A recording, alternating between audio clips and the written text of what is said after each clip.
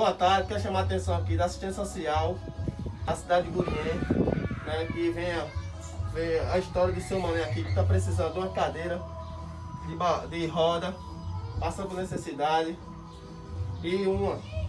O sobrinho dele é vereador, viu? Paulo Sérgio. Atenção, Paulo Sérgio. Veja aí com a secretária de assistência social. Consiga a cadeira de roda o senhor, seu mané. E tá passando necessidade também. Precisa fazer fisioterapia também.